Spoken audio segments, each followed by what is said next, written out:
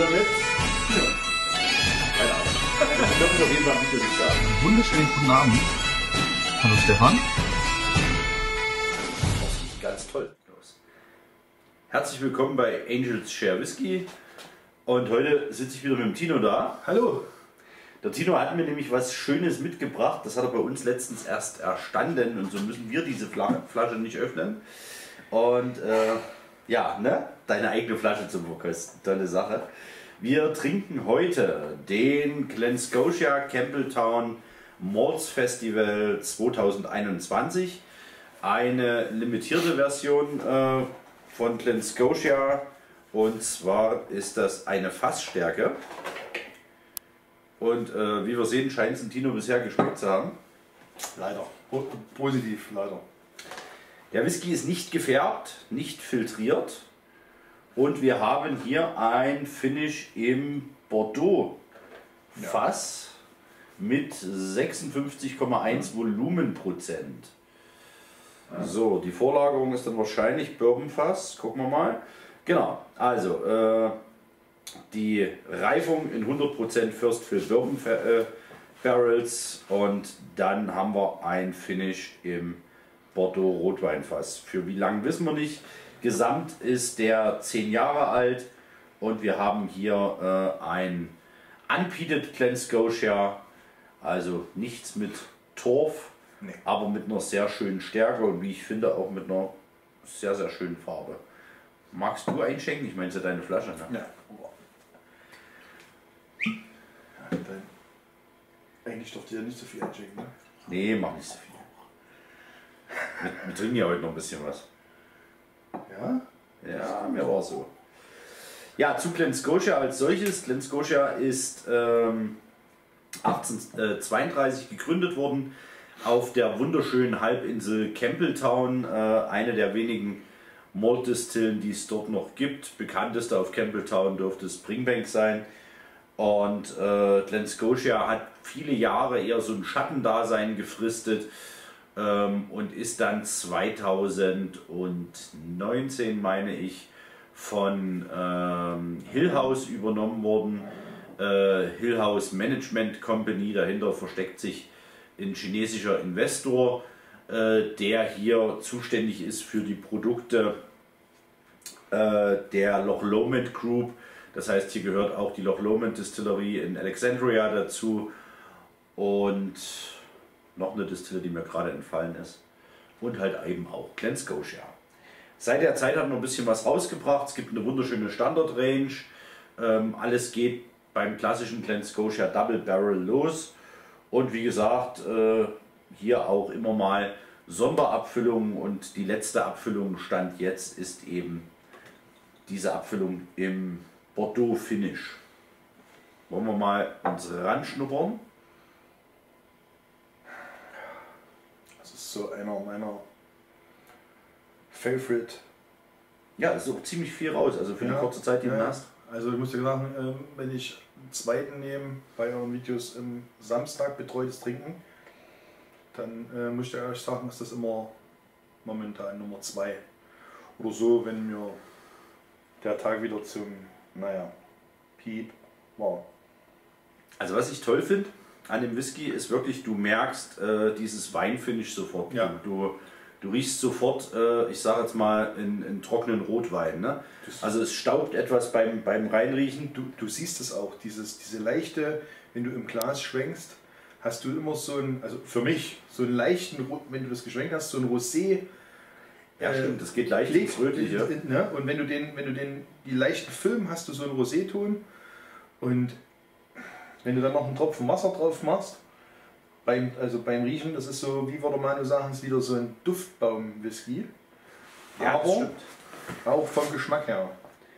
Also was sehr, sehr schön ist beim, beim, beim Ranschnuppern, also du merkst wirklich, äh, du merkst klar den Rotwein, du merkst einen trockenen Franzosen, es kommt danach auch diese, diese leichte Holzmuffigkeit äh, im positiven Sinne, die, die dann da ist. Das Ganze verändert sich in Richtung ja, äh, rote Johannisbeere hätte ich jetzt gesagt. Also eine wunderschöne Säure ist präsent bei dem Whisky. Also mir, das ist was, was mir vom äh, Riechen her sehr, sehr gut gefällt.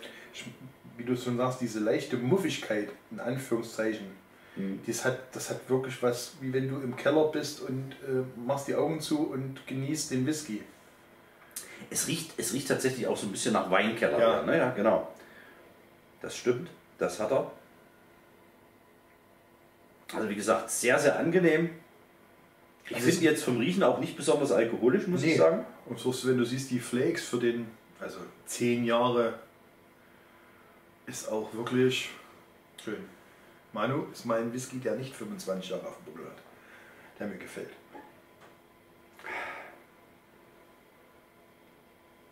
Ja, also er zieht wirklich echt schöne Nasen. Und wenn du dann, ich mache dann, jetzt habe ich mir angewöhnt, immer einen Tropfen Wasser, zwei, drei Tropfen Wasser reinzumachen. Ich habe gerade so ein bisschen das Gefühl gehabt, dass er auch ein kleines bisschen eine Trübe hat. Aber das kann natürlich auch Einbildung sein. Aber wäre ja auch ein Qualitätsmerkmal. Also es wird leider eine der ersten Flaschen, die relativ jung erworben sind und schnell alle sind bei mir. Ja, Whisky ist zum Trinken da. also Richtig. sonst soll er- Aufheben sollte man nichts, mitnehmen kann man eh nichts, also würde ich sagen, beiß mal ab, oder? Mhm, Obwohl ich, obwohl ich, also ich, ich schnupper sehr, sehr gern Ich, dran. ich schnupper auch sehr gern. Also ich habe letztens äh, mir ein Glas nach der Arbeit eingeschenkt zum Runterfahren. Ich habe glaube ich eine Stunde an dem Ding bloß gerochen. Also es ist wirklich sehr schön, weil der, der entwickelt sich sehr schön im Glas. Ich finde, wenn du dem. Jetzt, ich habe ein Glas Wasser, äh, ein paar Tropfen Wasser rein, riech mal den Unterschied. Ich finde, dann kommen die Aromen noch mehr, diese Süße, diese Fruchtigkeit noch mehr zur Geltung. Ja, ich wollte gerade sagen, also er wird süßer. Er wird auch gefühlt milder Ja, vom, vom, vom Ranriechen her. und das könnt ihr, also wenn die als Special Edition noch einen Duftbaum dazu packen, in demselben Note, mein Auto damit bestückt. Ich habe auch irgendwas Keksiges jetzt da. Also Das so ein bisschen. Hm, Also wie, wie so ein bisschen Keksteig, also nicht zu süß, sondern, sondern so, so wirklich. Biskuitteig mäßig. Ja, irgendwie schon. Das kommt aber jetzt auch wirklich so mit der Zeit. Aber wie gesagt, diese feine Säure bleibt halt erhalten und das ist das, was ich echt spannend finde am Geruch hier. So, jetzt probiere ich mal. Also ich probiere erst ohne Wasser, du hast gleich von vornherein Ich habe von vornherein, weil mir dann, ich habe es ja schon ein paar Mal ausprobiert.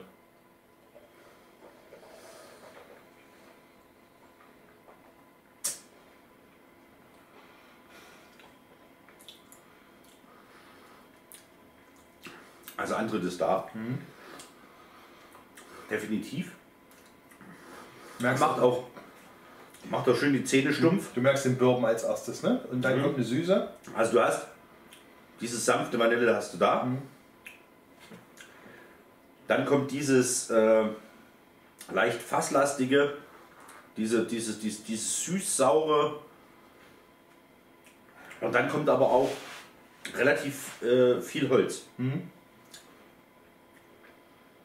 Du merkst das lange, ich merke dieses, dieses holzige, ähm, leicht stumpfige, schön lange an, am, am, am Gaumendach und an den, an den Schneidezähnen. Finde ich total klasse.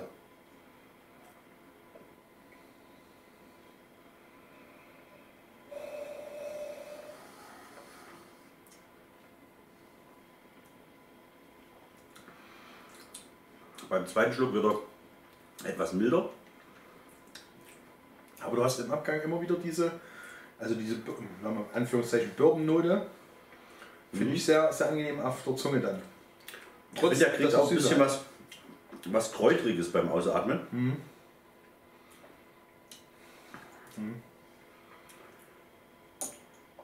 Die Frucht ist gar nicht mehr so sehr präsent beim, beim, beim Trinken. Beim Riechen hast du das. Beim Riechen hast du das, genau. Ja. Vier, fünf Tropfen Wasser rein.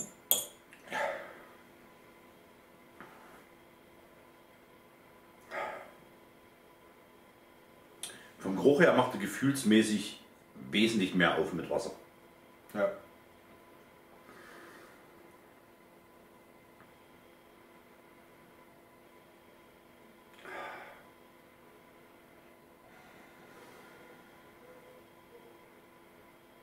Es kommt wirklich, jetzt kommt ein bisschen mehr Süße durch. Auf alle Fälle, jetzt gehe ich mit der Süße auch mit.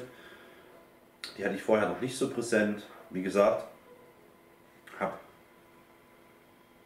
Das Holz wird meines Erachtens nach aber auch äh, Deutlicher. etwas äh, deutlicher, etwas stärker, genau.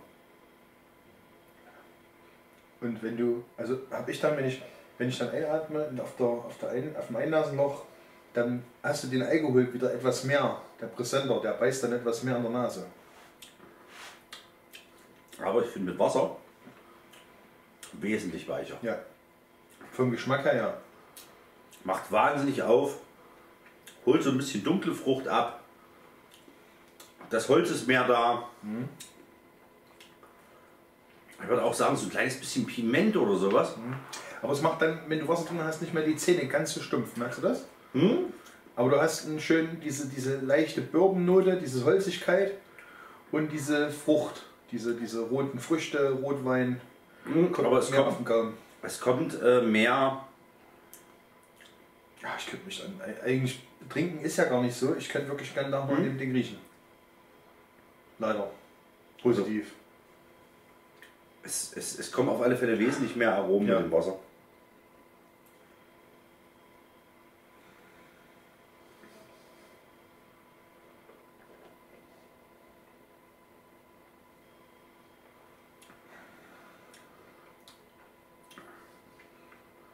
Man kriegt auch was leicht Maritimes, also so eine Ja, leichte Piment- und Salznote.